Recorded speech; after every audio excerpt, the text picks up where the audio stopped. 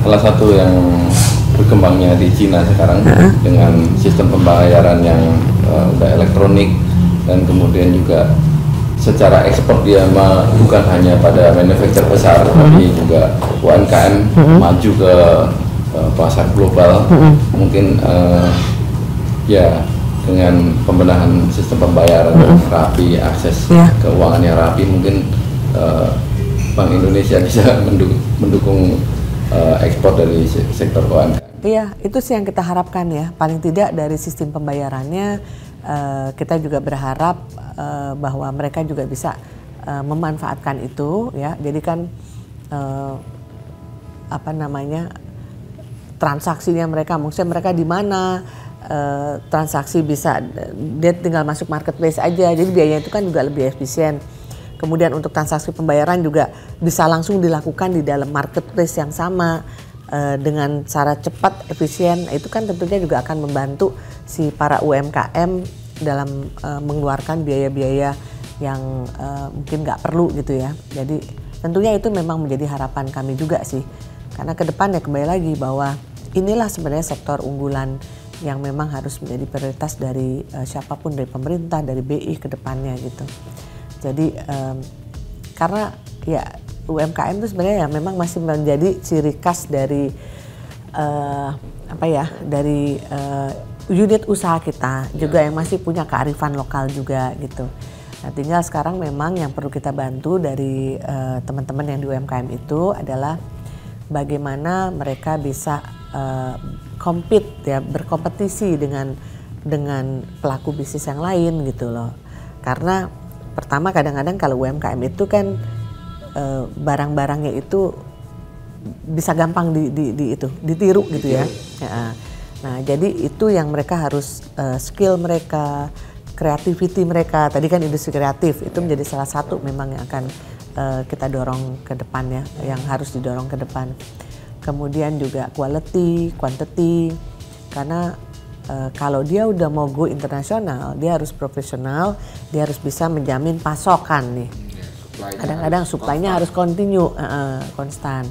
Karena kadang-kadang biasanya kan um, buyer itu kan maunya continue ya.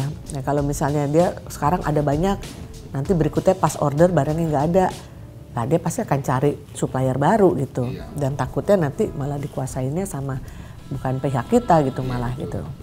Oke, okay, sebagai ya? uh, uh-huh.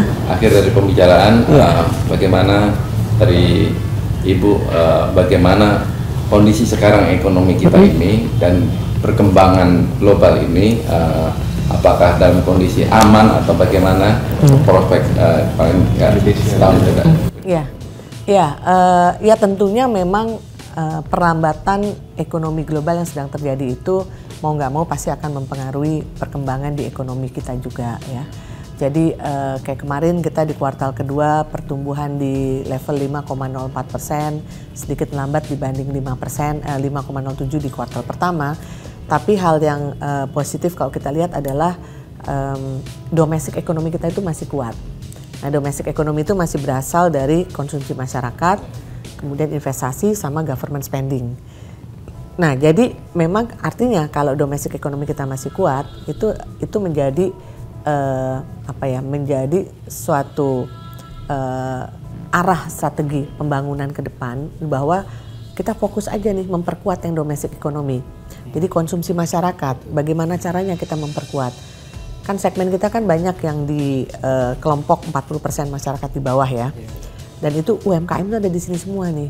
Nah, ini yang harus kita coba bantu di samping memang ada beberapa program-program sosialnya pemerintah, tapi kan harus diimbangi dengan program yang produktif juga ya. Iya. Nah, jadi memang arah pembangunan arahkan ke sana bahwa infrastruktur sekarang sudah banyak bagus, akses sudah banyak dibuat, tinggal sekarang infrastruktur penunjangnya. Iya. Jadi kayak misalnya jalan sini Jakarta, eh, Jakarta Surabaya kan udah enak nih naik mobil. Nah, kita mesti bikin spot-spot di mana uh, orang itu mau singgah gitu.